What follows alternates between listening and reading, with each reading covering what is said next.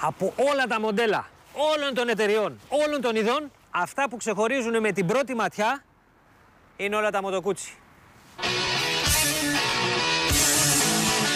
Αυτός ο κύλινδρος V90 αλλά ούτε έτσι ούτε έτσι αλλά πλάγια τοποθετημένος είναι μοναδικό χαρακτηριστικό. Όπου δεις τέτοιο είναι μοτοκούτσι. Οπότε λοιπόν έχουμε κάνει ένα πρώτο ξεκαθάρισμα. Τώρα από όλα τα μοτοκούτσι μοντέλα αυτό που ξεχωρίζει με μία ματιά είναι το V9 Bomber.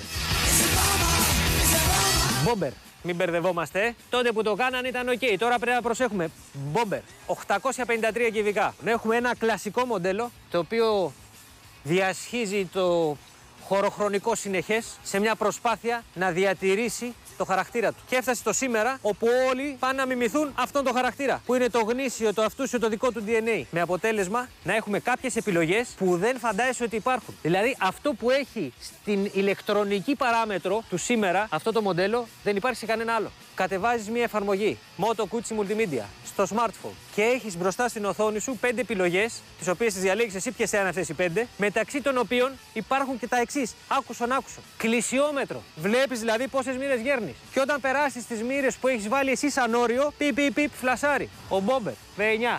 Άλλο. Πέραν το ότι έχει τα G που επιταχύνεις, όχι τίποτα συγκλονιστικό γιατί δεν είναι και ο σκοπός αυτός, αλλά το έχει. Έχει και το άκουσον, άκουσον. Ένδειξη για την πρόσφυση του δρόμου. Συνδυάζει το traction control της μοτοσυκλέτας που είναι δύο σταδίων και απενεργοποίηση, τρία στάδια δηλαδή. Αντιλαμβάνεται το γλίστριμα, το συνδυάζει με την κλίση και σου λέει για να έχεις τόσο μικρή κλίση και να γλιστράει, ε, ο δρόμος είναι χάλια. Πιμ και σου λέει πόσο γλιστράει. Ο Μπόμπερ δεν το έχει καμία άλλη μοτοσυκλέτα. Ένδειξη πρόσφυσης στην Ελλάδα το τερμάτισε. Τώρα γιατί το λένε Μπόμπερ. Μπόμπερ είναι μπομπομ, κάνεις έτσι και φουσκώνουν τα μάγουλα. Έτσι είναι και αυτό φουσκωμένα τα μάγουλα, όχι τα μάγουλα, η τροχή. Η Ζάντα μείωσε την διάμετρό της κατά μία ίντσα, έγινε 16 ιντσών και το κενό καλύφθηκε με λάστιχο. Άρα έχουμε περισσότερο ελαστικό. Παχουλό λάστιχο μπροστά. Παχουλό και πίσω. Στη χρήση αυτό δεν γίνεται αισθητό παρά μόνο στατικά, όπου το μπροστινό λάστιχο τρίβεται λίγο περισσότερο. Μόλις ξεκινήσει, όλα καλά. Όπως ήταν παλιά. Όμως έχει μία ανάρτηση επιπλέον. Αυτή που του προσδίδει το πάχος του ελαστικού. Πίσω, παρότι έχει μειωθεί η ανάρτηση, επειδή είναι αυτό το παχύ λάστιχο, δεν υπάρχει πρόβλημα ως προς την άνεση. Σκοπός ήταν να μειωθεί και άλλο το ύψος της έλας, 77 εκατοστά. Από τις πιο χαμηλές που υπάρχουν σήμερα για να βολεύει και τα ανάλογα αναστήματα, αλλά και για να έχει και το στυλ αυτό που απαιτείται. Χαμηλό ύψος έλα, μικρότερη διαδρομή ανάρτησης, αλλά ρυθμιζόμενη ως προς την προφόρτιση. Έτσι ώστε να το φέρνεις εκεί που θέλεις. Κατά τα άλλα, τεχνικά το πλαίσιο παραμένει με μικροδιαφορές. Ο κινητήρας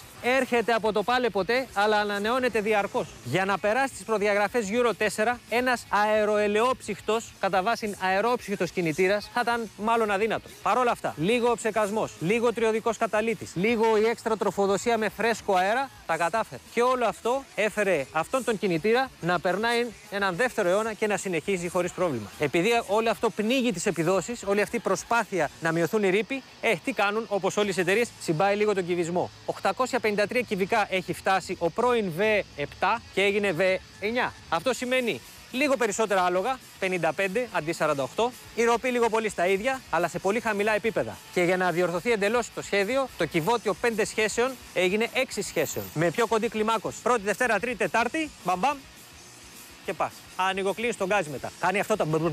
Το πολύ ωραίο αυτό το, το παχύτο, το γεμάτο, τον κραδασμό που τον θες, λες μοτοσυκλέτα οδηγάω. Στο φανάρι πας. Μπρεβρεβ και γέρνει λίγο. Ε, κοίτα τι ωραίο που είναι. Μετά βέβαια το συνηθίζεις, δεν του δίνεις καν σημασία. Αλλά από την πρώτη επαφή είναι πάρα πολύ ευχάριστο. Προσεγμένο και το ρεζερβουάρ. Μίκρυνε για να εξυπηρετείς το σχέδιο. Για να κάνει τη γραμμή του ρεζερβουάρ, να συμπληρώνει από κάτω κύλιδη και να γίνεται όλο αυτό, το, αυτό που κάνουμε, έτσι. Ε, το κόστος. Παίρνεις μια μοτοσυκλέτα οποιαδήποτε και πας να την κάνεις μπόμπε θα κοστίσει πολύ περισσότερο από τις 9.920 ευρώ που κοστίζει το γνήσιο. Μοτοκούτσι V9 Bomber. Μοναδική, την ξεχωρίζεις, μπορείς να την προσαρμόσεις στα γούστα σου με διάφορα αξεσουάρ που υπάρχουν και στο τέλος τέλος της ημέρας τι έχει μεγαλύτερη αξία από το να βλέπεις τη μοτοσυκλέτα σου να είναι ξεχωριστή, να τη φτιέρεσαι, να την οδηγάς, να την απολαμβάνεις. Μην νομίζετε ότι δεν στρίβει και ευέλικτη μέσα στην κίνηση είναι και θα στρίψει τις τροφούλες της και θα πάει το ταξιδάκι της. Τι άλλο; Bomber. Bomber.